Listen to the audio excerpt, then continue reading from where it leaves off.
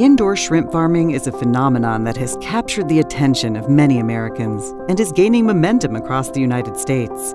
It wasn't too long ago that if you wanted fresh shrimp, you would have to travel to the coast to get it. But that's no longer the case. Thanks to innovative advancements, farmers can now raise shrimp practically anywhere, even in the Midwest. Hi, my name is Karlanea Brown. I'm the co-owner of RDM Shrimp, and we raise marine shrimp here about 600 miles from the ocean. We are in the middle of Indiana. Indoor shrimp farmers, like the Browns, raise shrimp from post larvae, also known as PLs.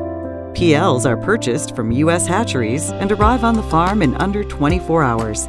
We get in right now, we're getting about 100,000 PLs every month, and we sell about 70% of those to the other shrimp farmers. The rest of them we keep for ourselves.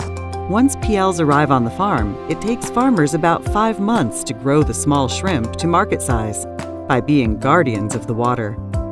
What does it take to get a shrimp to market size? A lot of things, mostly water quality. As long as we maintain the water of the shrimp, the shrimp grow fine. So what we do is we create a bacterial ecosystem inside of our tanks and by monitoring, testing that system, we maintain that bacterial ecosystem.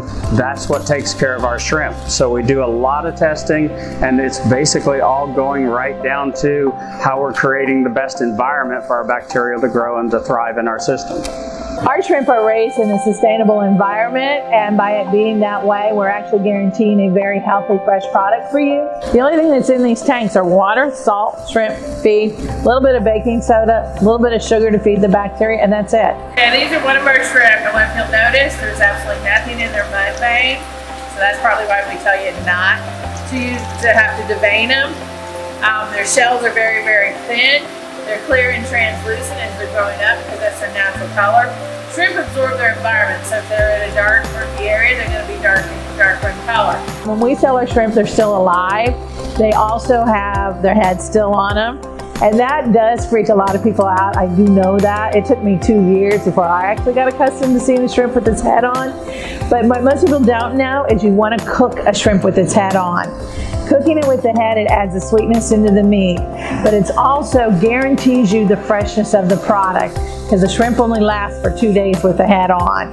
So usually when you come into our front sales room to buy your shrimp, you usually get a little bit of a show because they tend to jump around a little bit. When the Browns started their shrimp farm in 2010, they were one of three commercial producers raising marine shrimp indoors in the United States. Now they are one of many family farms dedicated to providing locally grown, sustainable seafood in the Midwest.